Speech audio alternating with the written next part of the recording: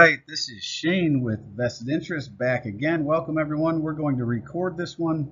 Looks like uh, there was an issue with the first part of the video again, so hopefully this records well. And as I said, this is Shane. Before we get into the video, I'd like to take a moment to thank everyone who's watched, taken the time to comment, like the videos, and a special thanks to those who have subscribed to the channels. Over 230 subscribers. The channel continues to grow daily, weekly.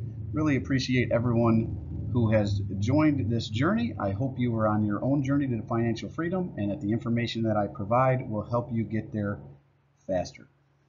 For those of you who may be stopping by for the first time, on this channel we focus on a passive income investing strategy by buying stocks in good companies that pay dividends. It's not rocket science. In my opinion, the best way to do anything, keep it as simple as possible. So it really boils down to buying uh, stocks in good companies that pay dividends, consistently investing dollar cost averaging into growth stocks and growing companies with positive cash flow that covers the dividend and companies with a high return on their invested capital. I utilize both a dollar cost average approach, consistently investing into stocks within the portfolio on a biweekly basis at a minimum whenever I get paid. Usually it's every week. I also cover my weekly purchase uh, purchases in a Sunday video, so go ahead and check that out as well. I cover all my investments into the portfolio on this channel. I do not have a paid Patreon account. It's all out in the open for you to see. I don't ever intend to have a paid Patreon account. We all have enough to pay for, so it's free to see what I'm investing in, what I'm selling, all the activity within this particular portfolio. But if you'd like to help the channel, dropping a comment down below, liking the videos, hitting that thumbs up, definitely subscribing to the channel and ringing that notification bell help out tremendously. I also have a link to my Webull account in the description down below if you're looking to start your own investing journey and open your own brokerage account. If you use that link, you'll get some free stocks. I'll get some free stocks. No, uh, no pressure there. You don't have to use it. You can just open your own account. Hopefully, you have one. Uh, with that said, we are going to take a look at Hewlett Packard HPQ here, Whirlpool ticker WHR, and Best Buy ticker BBY. And HP is in the information technology sector. Whirlpool is consumer discretionary. Best Buy is also consumer discretionary. These are the three stocks potentially to buy or throw on your watch list for September. Let's look at them one by one. First up, we're going to take a look at HP Inc., ticker HP, in the information technology sector, down 2.84%, at least whenever I recorded the video. You know, we're about midday here.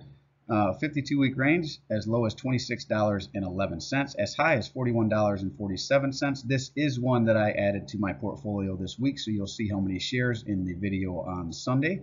It does have a market cap of 28.868 billion, and with its current price of $27.90, it is uh, pretty close to that 52-week low. This is one I've set the price around $28 per share, and I am perfectly comfortable if this continues to drop to continue to build out this position. Does not have a beta, uh, so I have to look into that, why that is, but you can see there is a little bit of volatility here.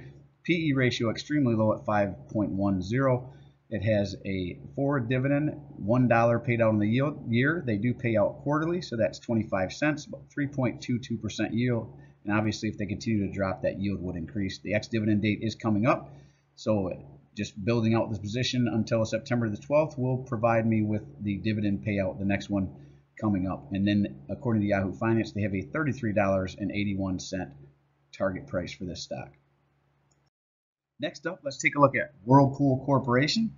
They are currently at 153, $153.57, ticker WHR, and this is in the consumer discretionary sector. Again, another one down on the day.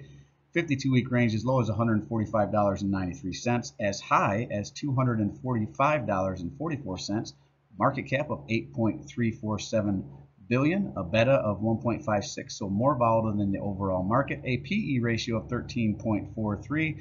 They have a forward dividend of $7 paid out in the year, divide by 4, that'll give you the the payout, I think it's around $1.16, and a dividend yield of 4.47. They do pay out quarterly as well ex-dividend date just uh, missed that last one, August 25th, 2022. So we'll have to wait for the next one on that one. And this is again another one I recently added to my portfolio. Perfectly happy if this continues to pull back towards that 52-week low, adding and building out this position as well. Yahoo Finance has a one-year target of $197.40.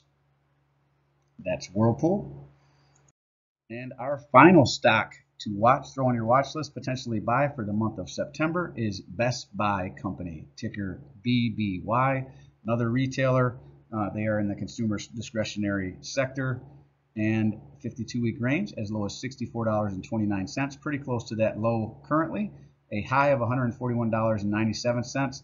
This one is not in my portfolio, but it is on my watch list and has been for a while a market cap of 15.699 billion, a beta pretty similar to what we saw with Whirlpool 1.52 and a forward dividend of $3.52 paid out on the year. Real similar uh, dividend yield as well to Whirlpool at 4.46. Ex dividend date, the last one was June 13th. They should have one coming up in September, I believe, but we will see uh, when they adjust that. And according to Yahoo Finance, they have a one year target estimate of $80.05. Best Buy is one I'd love for it to pull back, uh, continue to pull back, and maybe even set an all new 52 week low, and then I might look back at this one. But it is one to watch for this next month. Again, pretty volatile, maybe uh, one that continues to drop. And, and uh, if you're interested in something in the consumer discretionary, Best Buy and Whirlpool are definitely two that I am looking at. Like I said, Whirlpool I did add uh, this week. So, and that are those are the three that we are looking at for this month, I will say a few others. Uh, Johnson & Johnson, if it continues to pull back. Uh, Procter & Gamble is one I'd love to see continue to pull back. And also uh, uh, Union Pacific is one I'd like to build out the position in. So if that one continued to pull back as well. But currently Procter & Gamble and Union Pacific are a little on the high side, both over 20 PEs last time I looked. So I'd like them to get back down under 18. And then I could build out those positions as well.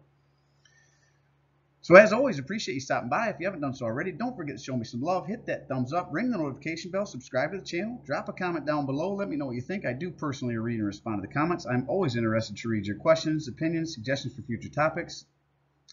Uh, drop them all down in the comments below. Let me know what stocks you're watching for the week of sept or the month of September or what you're adding, what you've added this week. Always interested to know what's going on with your portfolio as well.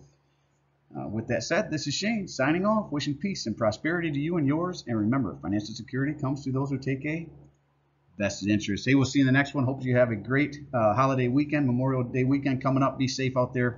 We'll see you guys this Sunday. Go ahead and check out what we did with the portfolio. We did add a significant amount of capital from uh, some of the profits of the sales last week, and as well as adding new uh, new capital to the portfolio as well. All right, that's it for me. Thanks, guys and gals.